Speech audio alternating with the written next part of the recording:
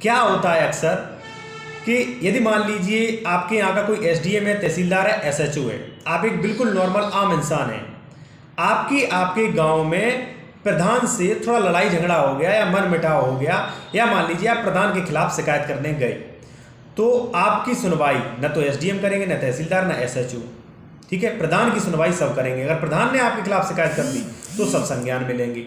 कहने का मतलब ये है कि एक आम आदमी यदि प्रधान से, यदि किसी प्रतिष्ठित व्यक्ति से, यदि किसी पैसा वाले व्यक्ति से उलझ गया और वो दोनों लोग एसडीएम, एसएचओ, तहसीलदार के पास पहुँचे तो वो अधिकारी उस आम आदमी की पक्ष नहीं लेते, बल्कि उस प्रतिष्ठित व्यक्ति या जो प्रधान है, या जो पैसे वाला है, या जिसकी पॉलिटिशियन अच्छी पहचान है, उसको ज़्यादा महत्व देते, उसकी ही एक तरफा कार्रवाई करते, जो कि बहुत गलत है। और इसी कारण से ये जो कानपुर की घटना हुई है इसी कारण से हुई है।